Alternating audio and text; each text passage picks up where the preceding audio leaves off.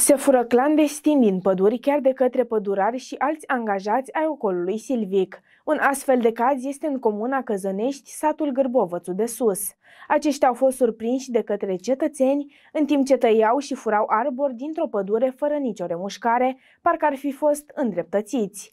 Arborii nu erau marcați și nici nu aparțineau ocolului silvic, ci locuitorilor din zonă.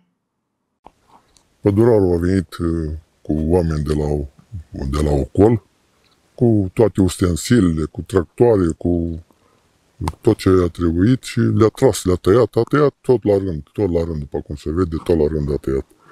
Însă aici s-a oprit, aici cetățenii, că asta nu e pădurea ocolului aici, aici e pădurea cetățenilor, e a cetățenilor, dar dacă nimeni n-a, vrut, n-a venit să vină să-i oprească, ei și-au văzut de treaba lor, au luat lemnele, dar dacă dumneavoastră veneți și luați, vă luați un copac de aceea, tăiați că era pădurea dumneavoastră, era... N-ai voie.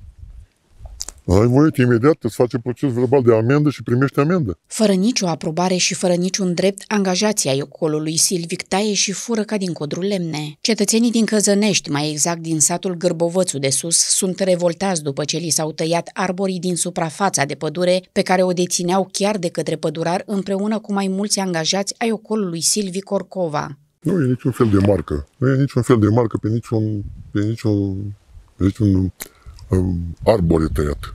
Le-au tăiat, le-au vândut și-au luat banii și nu întreabă nimeni de nimic. Asta să fie ciubucul pădurarului. Exact, exact, exact. exact. Păi, e, e posibil că altfel nu e marcă, nu e nimic, că a încărcat cu mașinile lui personale, le-a dus unde pe unde au avut comerț. Timp de două săptămâni, pădurarul și ceilalți angajați au tăiat lemnele nesfiindu-se de nimeni și de nimic în plină zi, siguri fiind de faptul că nimic nu li s-ar putea întâmpla. Postia aceea, că a fost zarvă mare aici, a stat o săptămână, două a stat aici, ca să, ca să scoată toate, toate lemnele astea de aici. Ziua, în amiaza mai de dimineață, se puneau de dimineață până seara când dădea întunericul. Nu, fără nicio fereală, fără niciun dacă e dispoziția ocolului, așa spunea pădurarul.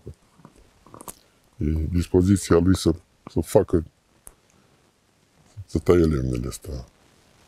Beate, aici, e, aici e, e pădurea cetățenilor, a sătenilor. Nu este nici de cum a ocolului silvic. Pădurea nu aparținea ocolului silvic, ci a cetățenilor din zonă. Cu utilajele din dotare au reușit să sustragă arborii tăiați pe care ulterior i-au vândut ilegal. Este dezamăgitor cum chiar reprezentanții ai ocolului silvic, persoane care în mod normal ar trebui să protejeze pădurile de hoții de lemne și să combată defrișările, au ajuns să fure fără rușine și fără remușcări.